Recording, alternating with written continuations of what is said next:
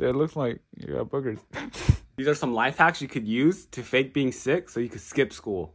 The first thing you want to do is you want to mess up your hair and your eyebrows so it looks like you've been tossing and turning all night. And then you want to get a piece of tissue, ball it all up, throw it all over your bed. Lucky for me, I was beating my meat last night, so I have plenty of tissues. Next thing you want to do is get some hair gel and put it in a syringe. Put some like at the corner of your nose. Ugh. Uh, it looks like you got boogers. And if you're really, really desperate, make yourself some fake throw up. First, you're gonna get a scoop of oatmeal and a scoop of peanut butter. And then you're gonna add some water. I added a little bit more water to the ratio just because I want my throw up to look a little more wet. Then you just put it in the microwave for about a minute.